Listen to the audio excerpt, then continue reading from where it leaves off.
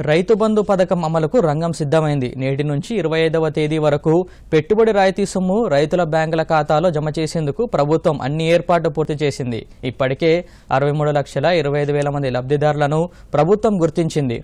అర్హులైన రైతులకు చెందిన నూట యాభై లక్షల ఎకరాల విస్తీర్ణానికి ఏడు వేల ఐదు వందల ఎనిమిది కోట్ల డెబ్బై ఎనిమిది లక్షల రూపాయలు అవసరమవుతాయని ప్రభుత్వం స్పష్టం చేసింది.